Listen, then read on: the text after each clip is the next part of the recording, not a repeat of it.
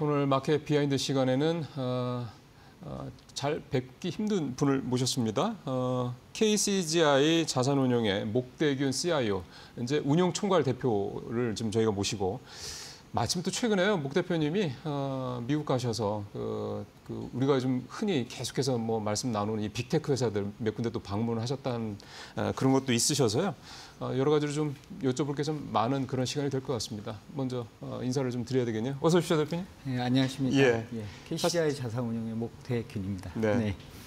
어, 예전에 사실은 미래세 자산운용 계셨었기 때문에 네. 뭐 그때부터도 뭐 사실 워낙 대형 펀드 많이 운용을 하셨었던 걸로 알고 있습니다. 네네. 뭐 그래도 예전 시절이긴 한데 네. 혹시 기억나시는 뭐 에피소드라든가 뭐 나 이런 거 했었는데 괜찮았어 뭐 또는 뭐 그런 거 짧게 네. 한 말씀만 좀 여쭤보면 좋겠네요. 네, 뭐, 뭐 미래에셋 자산운용이 상당히 훌륭한 펀드들을 많이 내놨었는데요. 예. 예, 그 중에 뭐 글로벌 great consumer 펀드, 글로벌 growth, G2 innovator, 그리고 뭐 제가 중간에 이제 운용을 하기 시작했지만 insight 펀드가 있습니다. insight 펀드는 그 제가 운용을 시작했던 2011년 이후에 2014년에 원금을 회복했었고요.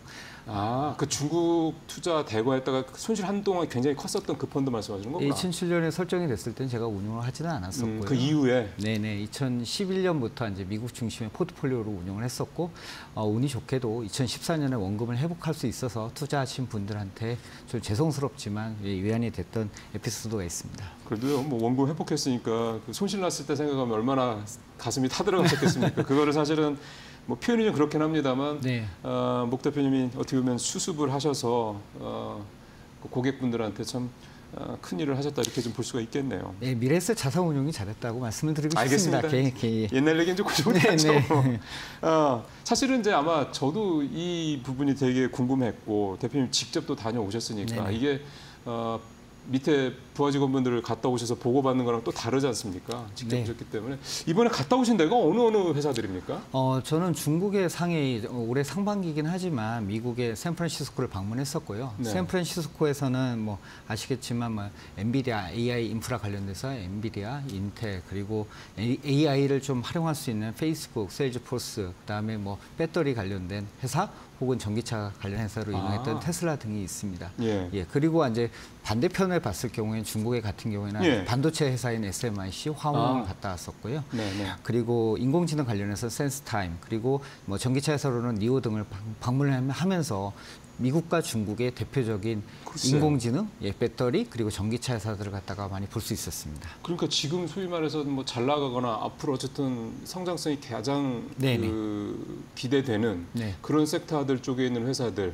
예, 그 회사들을 다 다녀오셨다는 얘기가 좀 되는 거네요. 네, 한국하고도 상당히 밀접하게 관련이 그렇죠. 있습니다. 네, 그러면 일단은 제일 먼저 갔다 오신 게 중국이니까 네. 혹시 그때 가셨을 때 네. 지금 중국 관련해서는 제일 큰 이슈가 이제 경기 부양 관련된 부분들 아닙니까? 어, 예, 예, 혹시 뭐 그런 부분들이 5월이긴 한데 네, 네. 뭐좀 이렇게 좀 이- 느껴지시거나 혹시 예상되시거나 그런 게 좀 있었습니까? 조짐이나 이런 게? 예, 현지 투자자들을 만나서 좀 얘기를 했을 경우에는 어, 경기 특히 부동산을 갖다가 어떻게 살리느냐에 그렇죠. 대한 그 이야기들이 조금 있었고요. 그리고 현지 투자자들은 이제 아무래도 좀 낙관적으로 외- 외국의 투자자한테 얘기하려다 보니까 그렇죠. 어, 겨- 부동산이 좀 회복될 것 같다. 뭐 그런 그 의견은 정도? 있었습니다. 아, 예. 그러면 가서 좀 만났던 회사들이 SMIC 사실 SMIC는 우리나라에서도 좀 꽤 알려져 네, 있는 맞습니다. 그런 회사하고 투자하시는 분들도 아마 중학개미분들 투자하시는 분들도 꽤 많이 계실 것 같아서 네.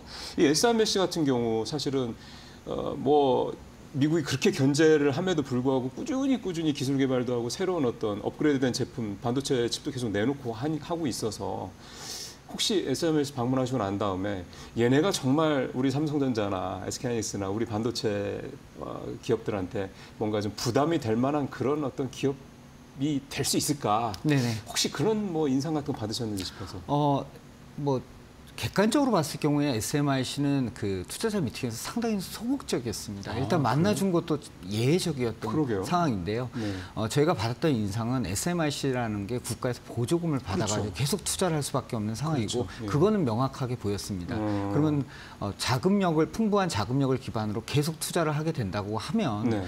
어, 우리 한국뿐만 아니라 경쟁 기업한테는 분명히 부담이 될 수밖에 없는 상황이라고 음. 저희는 그때 조금 느낌을 받았습니다. 네. 그리고 이제 또 전기차 관심 많으시니까 네. 니오 얘기도 잠깐 여쭤봐야 될 것 같습니다. 사실은 중국 전기차 회사들이 워낙에 뭐 표현이 그렇긴 합니다만 저가형 모델들도 많이 내놓고 네. 그다음에 뭐 역시 정부 보조금 받아서 전체적으로 뭐 일단 뭐 광물부터 그러니까 뭐 리튬 이런 광물부터 그다음에 생산까지 소위 말하는 일관 시스템을 다 만들어 놓고 해서 이 글로벌 경쟁력이 사실은 뭐 압도적이다라는 평가도 나오고 해서요. 네. 니오 같은 경우가 사실 이제 BY 저그 BYD처럼 앞에 있는 회사 중에 하나인데 네. 니오는 좀 어떻든가요? 어, 니오 일단 그 니오 샤오미 관련해서 예, 예. 전기차 회사들을 많이 봤었고요. 니오는 좀 특이했었던 게 이제 배터리를 갖다 착탈식으로 하게 예, 됩니다. 그렇죠. 예, 그래서 어, 그게 아주 그 저- 자동식으로 되기 때문에 자동화돼 있기 때문에 상당히 편리하다는 느낌을 조금 많이 받았습니다. 그러니까 그게 그냥 그냥 화제성이 아니라 편리성 부분에서도 대표님 보시기에는 아 이거 해, 괜찮다라는 느낌이 드시던가요? 근데 배터리를 교체하는 게 저- 전부 다 자동화돼 있고 너무나 시- 어, 편, 편하게 돼 있더라고요. 어. 그런 부분들은 니오의 강점이라고 생각하고 있고요. 니오나 샤오미 모두 프로그램을 저기 자동차를 봤을 경우에는 대부분 그 소비자 편의를 너무 강조 많이 강조를 했습니다. 그리고 음. 무엇보다 미국의 제, 미국의 전기차 회사 또 한국의 전기차 회사 대비해서는 편의성, 소비자 편의성과 네. 가격 가격의 경쟁력이 너무나 월등하다고 느꼈고요. 아. 그러다 보니까 미국이 전기차에서 간세를 높게 매기는 것 같습니다. 그러니까 직접 보시니까 차도 모양도 나쁘지 않고 성능도 괜찮은 데다가 심지어 가격이 그렇게 싸다라는 게 네. 이게 중국 전기차들의 경쟁력. 예, 맞습니다. 그 다음에 뭐 이제 사실은 엔비디아, 뭐 페이스, 세일즈포스, 테슬라 이런 데를 다녀오셨기 때문에 뭐 다 여쭤볼 수는 없고 네. 제일 어쨌든 핫한 두 종목에 대한 두 기업에 대한 얘기만 네. 좀더 여쭤보겠습니다. 엔비디아 아, 만나고 오셨는데 네, 네. 조금 이제 6월달에 골드만삭스 그 AI 고점론 리포트 나온 다음에 좀 주춤했다. 지금 다시 그냥 활활 타오르고 있는 분위기인데 네. 엔비디아는 그때 좀 어떠셨어요? 어, 엔비디아는 워낙 지금 그, 그, 그 당시에도 빅스케일러들의 이제 향후의 투자에 대해서 좀 낙관적이었었고요. 음. 아, 이제 블랙웰이라고 얘기하는 이제 테크놀로지 예, 예, 리더십에 대해서는 주도권을 잡고 가겠다라는 그렇죠. 부분 그리고 하드웨어랑 소프트웨어의 그 균형을 갖다 상당히 잘 맞추고 있는 기업이라고 생각합니다. 네. 상당히 저 긍정적인 그 느낌을 많이 받았었습니다. 예. 그 엔비디아 같은 경우 사실은 사실 뭐 젠슨 왕 CEO야 뭐 자기 기업에 대해서 네. 우리 뭐, 뭐 물론 블랙엘 얘기를 네. 하고 사실 한동안 계속 블랙엘에 대해서 뭐 수요가 폭발해서 얘기했음에도 불구하고 시장에서는 조금 외면하다가 어느 순간부터 갑자기 또 이제 그걸 시장에서 믿어주고 그러면서 네. 주가도 많이 올랐고 네. 전반적으로 미국에서 이 반도체 AI 관련된 주들이 굉장히 네. 좋았는데 그럼 이번에 가서 엔비디아도 방문하시고 AI 관련된 회사 한번 보니까 저 페이스북도 다녀오셨고 등등등 그러니까 네. 단순히 어, 어떻게 보면 이제 하드웨어 쪽만 아니라 소프트웨어 쪽도 다 다녀오신 거잖아요. 네. 그러면 전체적으로 AI 관련돼서 어떻게 보면 이제 큰 틀에서 다 어떻게 보면 보셨다라도 볼 수 있는 건데 네. 가서 이번에 미국 AI 좀이 산업과 관련돼서 미국의 어떤 그런 모습들, 기업들의 모습들을 통해서. 대표님은 어떤 좀 생각들이 드시던가요? 어, 뭐 짧게 말씀을 드리게 되면 AI 관련돼서는 단연코 미국이 기술적 리더십을 갖다 유지하고 있다는 느낌을 들었습니다. 음. 뭐 지금 AI 인프라 투자가 앞서가고 있는 상황이고요. 그쵸. 어, 빅 테크들이 그런 부분을 주도하고 있다는 부분에서는 아주 네. 테크놀로지 기술적 리더십은 미국이 분명히 가져가고 있다는 느낌을 받았습니다. 이제 숫자적인 측면에서 봤을 경우에는 매출 증가 네. 그리고 이제 현금 흐름 그 다음에 향후에는 이제 확장성이 상당히 중요합니다. 그러니까요. 인프라 투자 이후에 현금을 창출할 수 있느냐에 대해서 네. 이제 골, 말씀하셨던 골드만삭스가 의문을 그쵸. 제기했었고요. 네. 어, 그런 부분에서는 지금 페이스북 광고 부분에서 이제 페이스북이 잘 활용하고 있고 AI 기술을. 네, 소프트웨어 쪽에서는 이제 ERP 같은 쪽에서 뭐 세일즈포스 같은 아. 것들이 잘 활용을 하고 있다라고 좀 생각합니다. 네. 다양한 분야에서 이제 인공지능이 적용이 되고 있고요. 네. 이게 어떻게 현금 흐름으로 연결될 수 네. 있을지는 점차적으로 나타나지 않을까라는 생각이 들고 있습니다. 그 AI 고점론의 핵심이 말씀하신 대로 두 가지니까 계속해서 어, 이렇게 투자가 가능할 것이냐. 그다음에 엔비디아의 그런 높은 그런 뭐 영업이익률이 유지가 될 것이냐. 또 하나가 엣지 단이라고 하는 소위 말해서 on device AI가 이게 언제쯤 본격화돼서 진짜 수익을 낼 것이냐 이런 부분들일 텐데 네. 마침 이번에 세일즈포스 뭐 페이스북 다 두루 보셨기 때문에 네.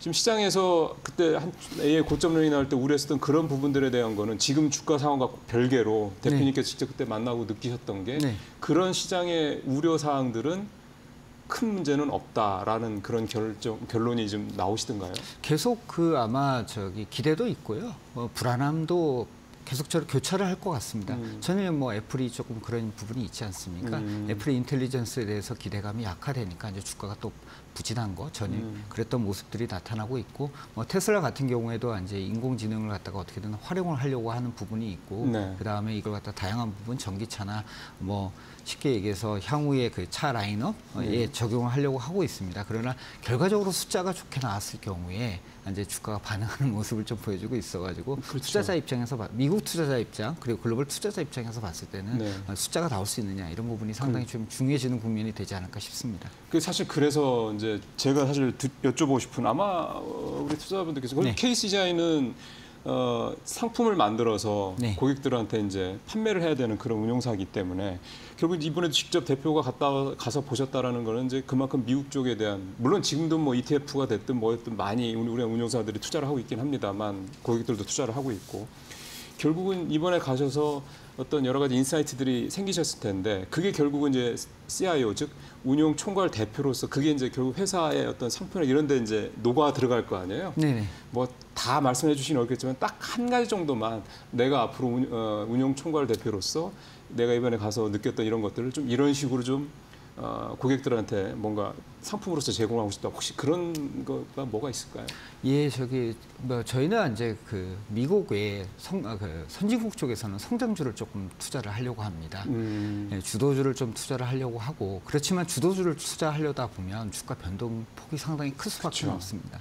그런 부분을 어떻게 상쇄시켜 줄 수 있느냐. 아. 과거에는 이제 미국의 방어주 쪽에서 조금 찾았습니다. 예. 그러나 돌이켜 보게 되면 한국 같은 경우에도 상당히 그런 가치주 방어주 개념의 기업들이 좀 존재를 한다고 생각합니다. 그래서 과거에는 미국 플러스 중국의 포트폴리오를 저희가 유지를 저 생각하고 제품 그 어떤 상품을 내놓으려고 했다고 하면 네. 한국 투자자 입장에서는 미국 플러스 한국의 포지션을 갖다 가져가는 게 맞다고 생각을 합니다. 어. 그래서 미국의 성장주 예. 더하기 한국의 가치주 저희는 이제 한국의 밸류주 즉 ESG에 좀 특화된 그 그런 그 상품을 내놓으면 좋지 않을까라는 생각을 좀 하고 있습니다. 근데 그렇게 말씀을 하시니까 지금 사실은 아시다시피 삼성전자를 위시를 해서 네. 외국인들 계속 국장에서 한국장에서 네. 좀 수급적으로 좀 썩 좋은 모습을 좀 나타나고 있지는 않고 이를테면은 뭐 미국도 잘 나가고 중국도 잘 나가고 대만도 잘 나가고 일본도 잘 나가는데 한국 중심만 뭐 소외되고 있다 이런 얘기도 계속 많이 하고 있고 그러다 보니까 지금 대표님 말씀하신 대로 미국의 성장주 그다음에 한국의 뭐 가치주나 밸류주 네. 이런 어떤 포트폴리오 큰 포트폴리오 차원에서 큰 어떤 그런 방향성이 한국에 있는 투자자분들 우리 시청자분들께서 보시기에는 아, 한국에 지금 투자해도 괜찮을까라는 그런 걱정을 하시는 분들이 좀 많으실 것 같아서 왜 그 큰 방향성에서 한국의 이 가치나 밸류주들을 이렇게 좀 편입을 하시는 쪽으로 생각을 하시는지 그 여쭤보고 싶네요. 예, 뭐 한국 같은 경우에는 다른 글로, 여타 글로벌 대비해서는 아무래도 저 저평가되어 있는 나라입니다. 아, 예, 네. 예, 주주 환원율이 낮고 낮은 주주 환원율 그리고 ROE가 낮기 때문에 물론 PBR이나 PER, 관- PER, 관점에서 10배 초반 그리고 PBR 관점에서 한 배 정도로 예.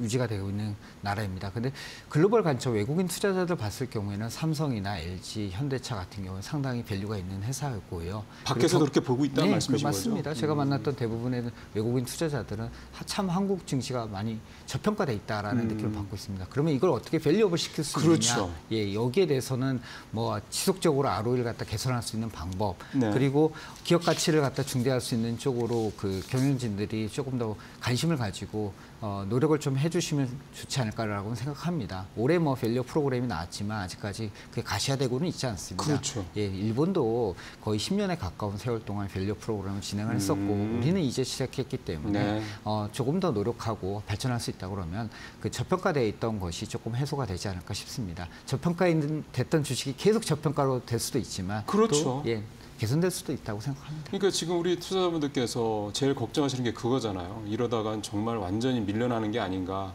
사실은 뭐 제가 삼성전자는 한 회사를 특정해서 말씀드릴 수는 없긴 네네. 하지만 어, 사실 삼성전자도 이번에 실적을 보면 3분기는 물론 어닝 쇼크 비슷하게 나오긴 했지만 4분기나 내년 1분기 보면은 다시 영업이익이 11조대로 올라가더라고요. 매출도 80조대로 올라가고 그러면 보면은 대부분 이제 향후 실적 가이던스에 따라서 주가가 움직이는데 향후에 더 좋은데도 불구하고 주가가 떨어지고 있다. 이렇게 된다고 그러면은 뭐 삼성전자뿐만이 아니라 우리나라 기업들에 대한 이런 어떤 가치에 대한 평가가 좀 생각했던 것보다 과도하게 좀 낮게 이렇게 보여지는 게 낮게 평가가 되는 게 아니라 이런 생각도 들어서요. 네, 맞습니다. 한국에 대해서는 조금 과도하게 네. 저평가돼 있고 미국 같은 경우에는 조금 그 역사적 관점에서 봤을 때는 네. 현재는 과도하게 고평가돼 있는 상황인 것 같습니다. 네. 그리고 중국은 최근에는 뭐 이렇게 정부가 정책을 갖다 주도하다 보니까 그쵸. 급반등을 했었는데요. 네. 이전까지만 하더라도 3년 내내 사실 그 계속적으로 하락했던 그렇죠. 시장입니다. 그래서 어. 그 증시라는 거 혹시 그리고 기업 가치라는 거는 한 예. 방향으로 갈 수도 있지만 또 네. 어떤 국면에서는 또 평균으로 갖다 해결하려고 하는 모습을 좀 보이고 있습니다. 대한민국 기업이 가지고 있는 그 저력들을 갖다 놓고 봤을 경우에는 현재의 지- 저평가가 좀 해소되는 국면에서는 평균으로 회귀하지 않을까라고 좀 기대를 그러게요. 해보고자 합니다. 코스톨라니가 얘기했던 것처럼 결국 주가는 정상으로 평, 네. 평균으로 돌아온다라는 그, 그, 그 그분의 말씀처럼 결국 이제 우리도 지금 너무 과도하게 있는 건 분명하니 이제 회복이 될 거다 이제 이런 건데 사실은 이제 이렇게 향후 시장에 대해서 우리 시장도 좀 저평가 국면에서 해소될 수 있다 이렇게 보기에는 물론 value 말씀하신 value up 정책 같은 것들이 이제 좀 더 이제 개선되고 이런 것도 분명히 필요할 것 같고 또 하나는 약간 매크로 쪽 부분도 좀 살펴봐야 될 것 같습니다. 예를 들어 지금 미국의 국채 금리가 계속 뭐 오늘 보니까 4.25%까지 올라서 그러니까 이런 불안감들이 뉴욕 시장도 오늘 전반적으로 동반 하락하는 모습으로 나타나기도 했는데 이제 결국은 미국의 경제 또 글로벌 경제가 내년에도 소위 말하는 침체 국면으로 훅 간다라는 빠진다라는 이런 부분에 대한 불안감이 좀 어느 정도 잠재워져야 될 텐데 트럼프 대통령의 당선 네. 가능성에 대한 그런 우려도 있는 거고 네. 종합적으로 매크로 쪽 관련돼서는 대표님이 좀 어느 정도 비율을 지금 현재 갖고 계신지 좀 궁금하네요. 미국의 경기 침체 가능성은 골드만삭스나 다른 외국계 IB들이 그 진단하듯이 현재로서는 상당히 낮습니다. 음. 20% 미만인 것 같습니다. 다만 그 우리가 예정돼 있는 가장 큰 불확실성 중 리스크 중에 하나가 미국 대선의 결과인데요. 그렇죠. 트럼프 쪽으로 말씀하셨듯이 길고 있습니다. 예. 그렇게 될 경우에는 고관세 그리고 고물가 그에 따른 그리고 고금리 상황이 좀 가능하게 되고 그러면 달러 강세를 수반했을 경우에는 조금 매크로적으로는 안 좋을 수가 있다고 생각합니다. 음. 10년 금리가 그걸 반영해서 그렇죠. 3.7에서 4.1을 지금 현재 올라가고 있는 상황이고 미국 국채에 대한 쇼패팅이 증가하고 있는 네. 모습을 좀 보여주고 있습니다. 어, 그렇지만 저희는 그 미국 같은 경우가 뭐 현재 기대치는 뭐 역사적 상단으로 봤을 겨- 역사적으로 봤을 경우에는 그 valuation 측면에서 상단에 있는 게 높죠. 맞습니다. 예, 예. 그러나 자생력이 상당히 뛰어난 시장이고 그리고 회복력이 뛰어납니다. 음. 물론 기업들 같은 경우에는 양호한 현금 흐름과 확장성 그리고 그, 그에 기반해 가지고 테크놀로지 리더십을 또 가지고 있기 때문에 그렇죠. 저희가 프리미엄을 줘도 어, 무방하다고 좀 생각합니다. 여전히 좋게 보신다는 네, 말씀이시군요. 그런 네. 측면에서 조정이 있을 경우에는 어. 매수 매수 후 보유를 하는 포지션이 맞는 것 같고요. 음. 반대로 지금 중국 같은 경우에는 최근에 이제 급반등을 했지만 상당히 macro적으로 불안한 요인들이 더 많다라고 아. 생각합니다. 예. 예, 그럴 경우에는 trading 관점에서 조금 더 접근하시는 게 맞지 않을까라는 생각을 하고 있습니다. 음. 매크로 쪽 경기 침체에 대한 우려감은 조금 과장된 면이 있다고 생각합니다. 미국 GDP 괜찮고요, 소비 괜찮고 현재까지는 고용은 괜찮습니다. 음. 물론 뭐 미래일이라 현재 지금 어, 단언하기는 어렵지만 그렇죠. 예, 네. 현재 상황에서의 데이터를 놓고 봤을 경우 그렇게 평가를 하고 있습니다. 알겠습니다. 전체적으로 이제 어, 운영을 총괄하시는 대표께서 이런 매크로에 대한 기본적인 그런 판단을 가지고 이제 앞으로 이게 이제 상품에 이제 녹여내지 않겠냐, 운용에 녹여내지 않겠냐, 근데 충분히 예상이 되는 말씀이고요. 마지막으로 어쨌든 운용사 대표시기 때문에 운용사에서 총괄을 운용을 총괄하는 대표시기 때문에 내년에 어, 대표님께 생각하시는 이런 쪽으로 좀 뭐 투자자분들이 생각하시면은 투자하시는데 아, 좀 괜찮을 거다. 혹시 뭐 그런 부분에 대한 혹시 대표님 생각 있으시면 한 말씀 우리 투자자분들한테 좋은 개념으로 한 말씀 부탁드리겠습니다. 예, 올해 초부터 미국이 상당히 생각보다 강한 모습을 네. 좀 보여주고 있습니다. 뭐 그 와중에는 또 8월 달에 같이 급락했던 모습도 그쵸. 보여주고 있지만 어, 저 미국 증시는 뭐 그래도 현재 양호한 좀 모습을 좀 보여주고 있다고 생각합니다. 그리고 다만 이제 그 장기적 관점에서 봤을 네. 경우에는 미국의 고평가가 이제 계속적으로 유지가 되고 있기 때문에 음. 아무래도 투자 수익률 관점에서는 좀 저평가돼 있는 주식을 사가지고 수익률을 높이는 과정이 조금 필요하게 되고요. 미국 투자에 있어서 예. 그러다 보니 미국 중심의 포트폴리오를 갖다가 다변화시키는 과정이 조금 필요하다고 생각합니다. 과거에는 음. 이제 big tech 중심 그리고 우리가 아는 저기 대형주 중심의 포트폴리오를 유지했다고 하면 네. 이제는 트럼프 이후에 어, tech에서 다양한 산업 그리고 중소형주로 변화가 되고 있습니다. 음. emerging 같은 경우에도 이제 인도 중심의 포트폴리오라고 하면 네. 실- 실제로 또 중국이 부가 부상이 중구 증시가 좀 관심을 좀 받고 있는 상황이고 예, 예. 그래서 내년도로 봤을 경우에는 지금 현재 과거의 그 집중화된 포트폴리오에서 벗어나서 좀 다양화된 포트폴리오를 조금 보시는 게 낫지 않을까 싶습니다. 과거의 주도주가 테크였다고 하면 예. 아, 앞으로는 주도주가 변화될 가능성을 갖다가 좀 눈여겨 보시고 투자하시는 게 가장 좋지 않을까 싶습니다. 내년에는 그러면 올해보다는 확실히 투자 우리 개인 투자분들 투자하시기에 성학개미가 됐든 동학개미가 됐든 리스크도 조금 더 커지고 네. 조금 더 보수적이라고 그래야 되나요? 그런 식으로 좀 투자를 하시는 게 아, 손실을 최소화하고 수익을 높일 수 있는 방법이 되겠네요. 네, 어, 저는 뭐 보수화라는 표현보다는 네. 다양한 쪽에 관심을 아, 가지시는 오히려 게좀 좋다라고 확- 생각을? 하고 있습니다. 중국은 최근에는 이제 관심을 안 가지고 계시다가 갑자기 급반을 했었고요. 맞습니다. 미국 같은 경우는 미국만 보다 보니까 미국의 수익률이 좀 저조할 가능성이 높습니다. 왜냐하면 멀티플 상단에 와 있기 예, 예, 때문에 예. 기업 이익을 보셔야 되는데 음. 기업 이익을 보되 예측하기가 조금 쉽지는 않습니다. 예. 그런 측면에서 다양한 관심을 가지시고 다양하게 포트폴리오를 한번 고민해 보시는 게 좋지 않을까 싶습니다. 예. 내년에는 다양성, 어, 기존 섹터보다 조금 더 생각의 어떤 폭을 넓히시는 게 투자하시는 데 도움이 되시겠다. 그런 말씀을 좀 해주셨습니다. 대표님 오늘 말씀 잘 들었습니다. 고맙습니다. 네, 감사합니다.